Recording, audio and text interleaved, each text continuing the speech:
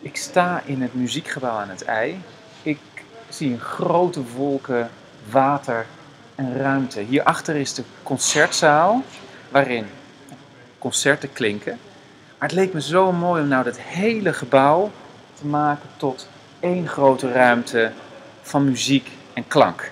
En ik ben naar de directie gegaan van het muziekgebouw en ik heb gevraagd: mag ik 24 uur lang dit gebouw om klank te vieren, maar ook de stilte te vieren. Te ervaren hoe het is om uh, muziek te maken. Niet alleen passief in een concert te zitten, maar ook zelf mee te doen. En het mooiste manier is zingen. Uh, er zijn in Nederland zoveel vormen van uh, koren, zangsolisten, moderne klanken, klassieke klanken.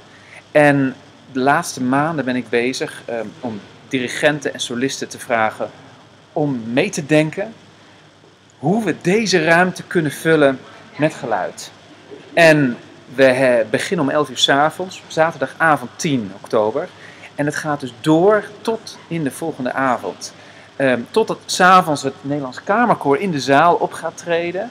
Um, gaan we hier op de balkons, maar ook verspreid op de trap, um, rondom de zaal uh, allerlei fragmenten laten horen van prachtige klassieke stukken, maar ook lange klanken maken, galmen door de ruimte, flarden van solisten, van wereldmuziek, jazz, pop, klassiek. Um, maar allemaal als één grote luisterervaring. Het publiek kan natuurlijk in en uitlopen. Je kunt het, uh, je kunt zelfs meedoen zo nu en dan. We zullen zorgen dat je daar duidelijke tekens van krijgt van bijvoorbeeld een dirigent of van een solist. Um, iedereen kan ook ergens een plekje zoeken om die ruimte te ervaren, de klank te ervaren en uh, te kijken wat er zo bijzonder is aan, uh, ja, aan dit gebouw, aan de, de sfeer van, de, van, de, van, de, van het weer buiten. Eigenlijk de tijd die je hier ziet in de wolken voorbij ziet trekken, die hoor je ook in geluiden door deze ruimte klinken.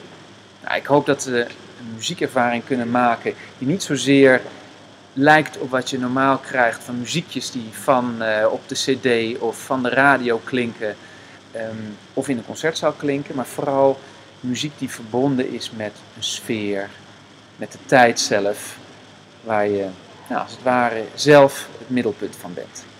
Als je dit mysterieus of spannend of totaal onbegrijpelijk vindt, wil ik je uitnodigen om mee te doen.